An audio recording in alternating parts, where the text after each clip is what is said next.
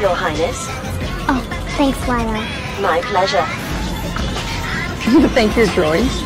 It's good manners. You don't need manners when you're talking to a lower life form. Then I guess I don't need manners when I'm talking to you.